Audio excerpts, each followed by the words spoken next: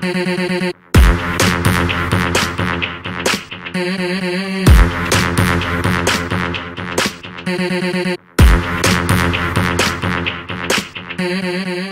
story of Fedde Le Grand is really interesting. I, I, I, thought it was very interesting, and when I finally met him, uh, it was very, very different from what I expected.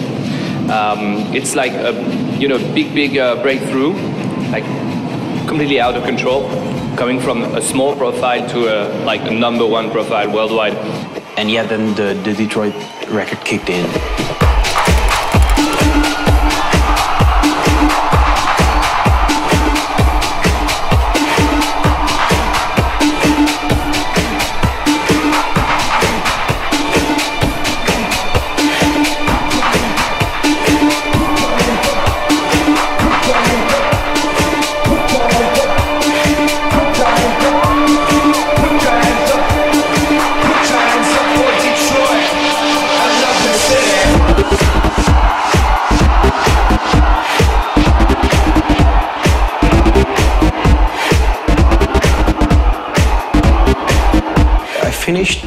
Record and I thought, okay, it's, it's, it's cool. It has something like quirky. It's it, it, it I mean, it kind of sticks with you when you heard like hear it like once or twice. But I, on the other hand, I was like, okay, but it's it's like really simple. And at that point, it was the most electronic record I've I've, I've did so far. So um, so I wasn't really sure if if, if, if I wanted to release it. Um, I, I, played it to Funkerman, and he said, "Yeah, it's cool. I like it." And I said, "Okay, but I want to do like, uh, like." Because we were doing like EPs at the time, like three track records. So I said, okay, but I, I want to do like something else on, on, on the other side, just to, to keep the whole EP a, a bit balanced. Um, so I did that first actually before I started playing it. Um, but as soon as I started playing it, like the, the, the I, I don't know, but the floor just exploded like straight away.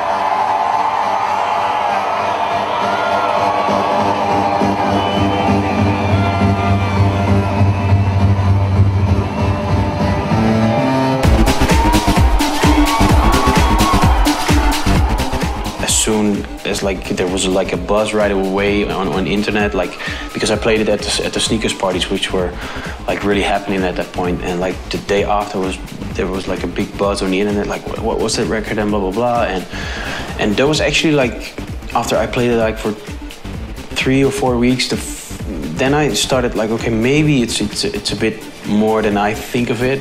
And uh, well yeah and then it got, finally got signed to CR2 in England, and CR2 signed it to Ministry. And uh, yeah, the, the rest is history, I think.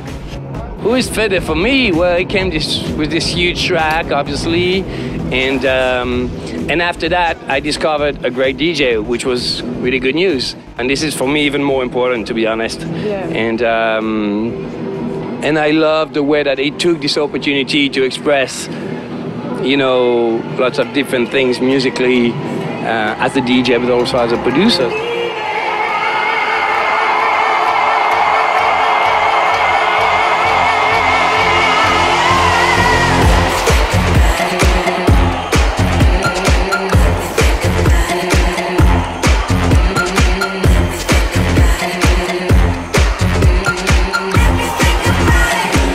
Think about Fedde? Well, the thing is what I like. I mean, I've been in, involved in the music industry for many, many, many years.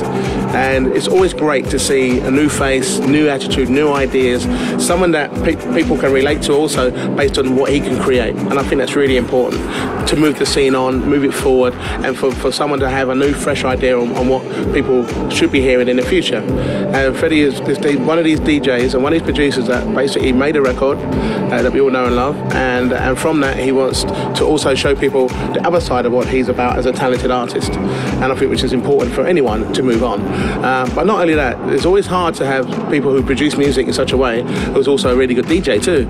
So he has two great attributes based on who he is uh, as, a, as a DJ, as a producer, as an artist, as someone that really has something to say based on what he believes in. And, uh, and I can follow that path. He's got a great reputation in the dance scenes, especially in the house scene.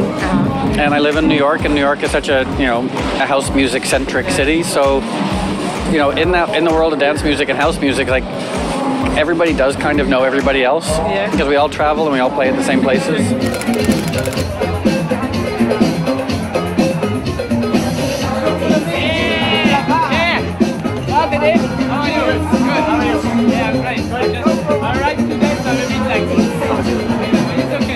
Really one of the guy who handled it because you know a lot of people like completely went out of control and they, they just did one thing and then you, you never heard of, of them anymore.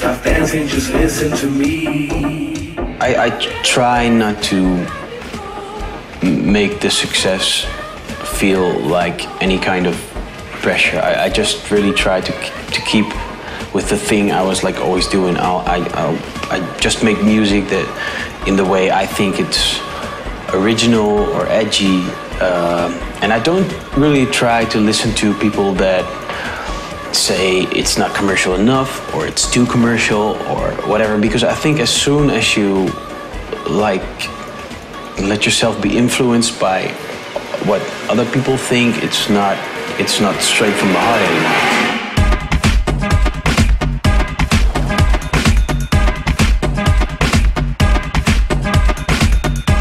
He's one of my best friends. Uh, he's a guy I met like six years ago. We played in the same club, and I was yeah kind of intrigued by how how how he is as a person. He's really uh, relaxed. Uh, he's, yeah, you should know him to to really understand. But he's quite a spiritual guy, and uh, and, and he's a, a magician with productions, and I've produced quite a lot with him, and I'm still often sitting next to him, and then I'm like, I can do this, but it's not true. He does some things he can do really fast in like half an hour, and then he makes a sound turn into something that you can't really define what it is. And and yeah, yeah, every track he makes, I'm sure that everybody who listens to it, if you like the music or not, it has a certain special ring to it. And yeah, so for me, he's a good friend and and uh, yeah, a really good producer and DJ uh, who I work with, and uh, I'm happy to have this uh, relationship with him.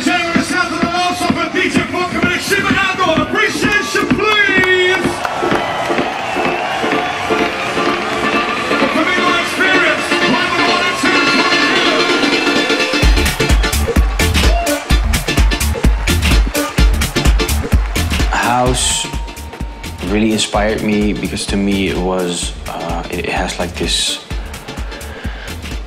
um, this repetitive thing that uh, kind of hypnotizes you.